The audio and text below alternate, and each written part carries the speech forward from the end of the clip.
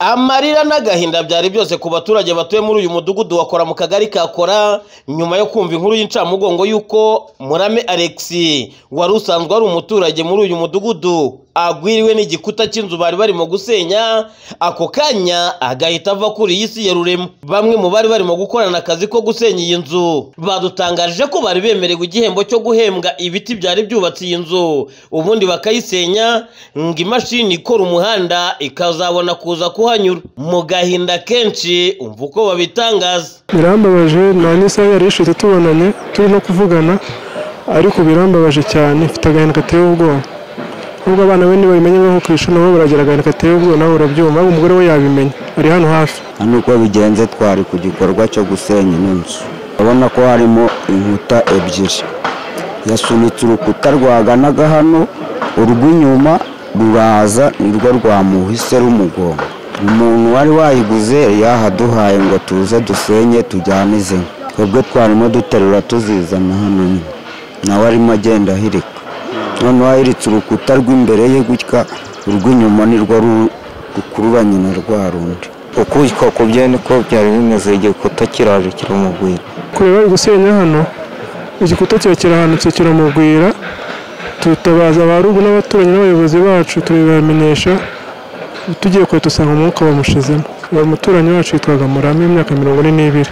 Wari wava ku muhanda uzaca hano ukageza kuri sitasiyo hano muri bakunama bari- ni inzu yari isigayemo kugira ngo bite imodoka izaze yasize nta kibazo itukomeza no muri ko- bakunama mu minsi iri imbere bazashyiramo kaburimbo. Ku ruhande rwa nyiri iyi nzu nawe wari wumiwe agahinda ari kose avuga ko yababajwe cyane n'urupfu rwa nyakwigendera ngo dore ko banagerageje kwirwanaho ngo babe babasha kumweguraho kino gibambasi ariko bikanga bikaba iby'ubusa ngo kuko abari buve abatari burare mu mubiri. Hano impanuka yaje asaba akazi mu gitondo barimo basenya hano aha hazanyura umuhanda.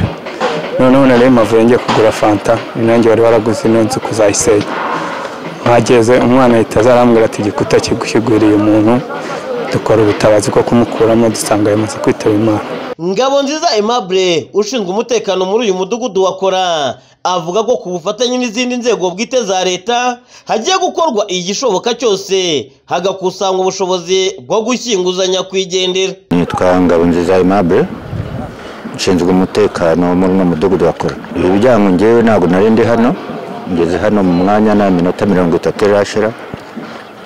Naje nsanga bari kumukoraho itaka bagira ngo bamubone abamariye kumubona rero ni ugutegereza ko twabona ubufasha bwo kugira ngo ashyingurwe yari yaratandukanye n'umugore we yari asigaranye abana abana babiri nibo yari atunze. Ubwo twakubukaga habereye amanzaganya. Inzego z'umutekano ziri mu rwego rw'ubugenzacyaha RIB ndetse na polisi bari bakomeje ibikorwa by'iperereza kugira ngo bamenye icyaba cyahitanye nyakwigendera mu gihe hari hategerejwe imodoka yabugenewe itwara imirambo kugira ngo ashyirwe mu buruhukiro bw'ibitaro ubundi abe yashyikirizwa umuryango we ashyingurwe. BTN TV mu mudugudu wa Kora mu karere ka Nyarugenge Ndindahiro Valence Papi Aba baturage bongeye kugaruka ku mbogamizi batewe n'uru rutindo bambukiraho nyuma y'uko ku munsi w'ejo haguyemo umwana uri mu kigero cy'imyaka cumi n'itanu wari uvuye gusenga agahita hasiga ubuzima. nitwa Musabyimana Angelique. Ntuye mu- muri Gatsibo mu murenge wa Rugarama akagari ka Matare umudugudu wa Kabare. Avuye mu rugo akoze imirimo yo mu rugo ajya gusenga hari umukirisitu yari gukomezwa mu kwa karindwi. Ubwo rero avuye gusenga byari saa sita. Azana n'abandi bana babiri ahageze bashaka kwambuka baramubwira bati amazi ni menshi. Ariko kubera guhatiriza ko nta zindi nzira yambutse urukweto rugwamo n'umwana mutoya agiye arukurikiye ahita agwamo. Bamukurikiye kumurohora n'uwari uguyemo nawe ajya kwicwa n'amazi yari yamaze gupfa baramureka. Yari mu kigero cy'imyaka ingahe? yari afite imyaka cumi n'itanu Uretse uyu mwana kandi ngo hari n'abandi baturage ngo bahatakarije ubuzima batari bake. mu mwaka washije aha ruguru twahakuye umwana w'umukobwa amazi yamuzanye yamutereye mu murima aho bamukuramo yapfuye bajya kumuziga ari bwo amazi y'ejo bundi ya- yatwaraga umuntu amuj- amujyana epfo muri rwunyu niyo twamukuye ubwo nawe bamukuye yapfuye byarangiye bazamushyingura. Baramushyingura uno munsi. Ikindi cya kabiri abagwamo hano bo ni benshi. N'abamotari. Na moto zikagwamo bakazikuramo zaguyemo n'abantu bose. Ubwo rero ikindi twasaba ni ubuvugizi. Gusa nanone abo baturage baturiye uru rutindo ngo hari icyo babona gishobora gukorwa dore ko ari na byo byifuzo byabo. Urabona ko hano ni hasi cyane. N'izi ntindo zihari ni ntoya.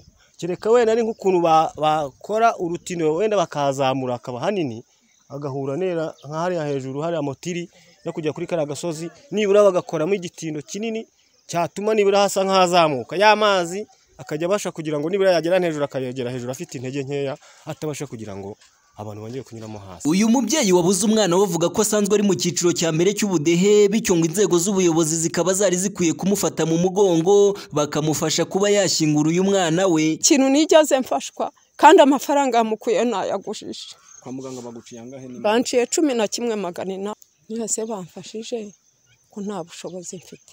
Nibura nkishyura ariya madeni y'abandi. M- mbura umuntu njyemo n'imyenda bitume mperuka nko kurya nk'ejo bundi. Bitume n'abasigaye bapfa. Uwo mukecuru afite imyaka mirongo cyenda. Ni njyewe ubacira inshuro. Kandi namusigiwe n'ubupfakazi nawe.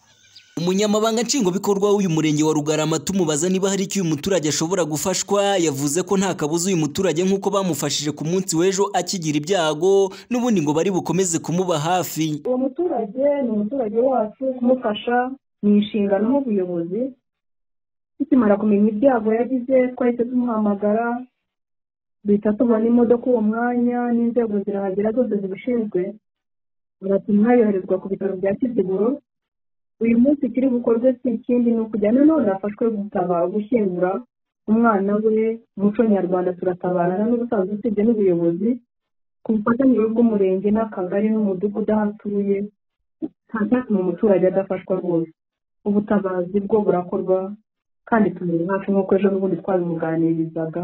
Naho ku bigendanye n'ingamba zafatiwe uru rutindo rukomeje gutwara ubuzima bw'abatari bake yavuze ko bagiye kubikorera ubusesenguzi ndetse bakiyambaza n'izindi nzego bakareba ko hari icyakorwa. Bitewe n'ubwinshi bw'imvura turakora ubuvugizi n'izindi nzego habeho gusesenguza byimbitse kugira ngo turebe ibyo twafasha abaturage kuko uyu munsi nta wundi turebera usibye umuturage.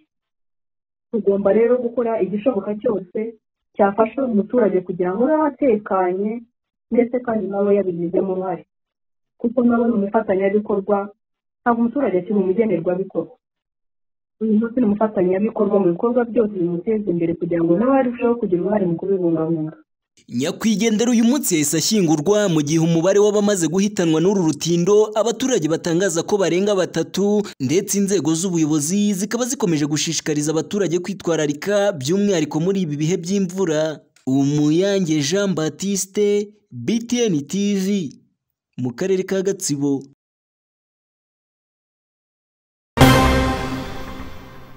Ni ubukwe bwari bwitabiriwe n'abatari bake aho gusaba no gukwa byari byabereye mu murenge wa Gatenga mu karere ka Kicukiro mu mujyi wa Kigali. Uyu muhango wo gusaba no gukwa ugenda neza yemwe no kujya mu rusengero gufata amasezerano. Imbere y'itorero aba bageni basengeragamo na byo bigenda neza. Ariko abatashye ubukwe baje kuvuga ko ngo zaje guhindura imirishyo nyuma y'aho musaza w'uyu mukobwa wari wakoze ubukwe ngo afashwe n'uburwayi bw'amayobera bakigera muri sare igihe cyari kirimbanyije barimo gukata gato nk'uko bisanzwe ibyishimo ari byose nawe musaza we ahera ku ikoti arajugunya ishati arajugunya isengeri nuko abaturage bamufata bwangu ipantaro nayo igeze mu mavi.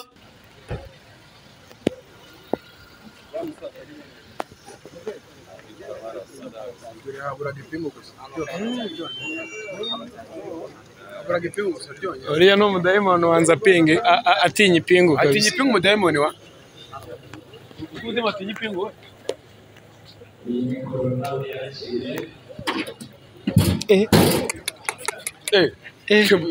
Utibuza ko atwika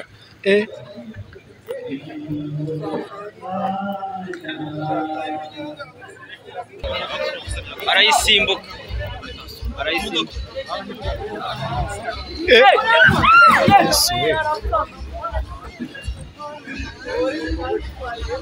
polisi ihita mwitwara n'umujyama ntabwo mutipe yatahabaye ahubwo uyu mujyama aranapfa kabisa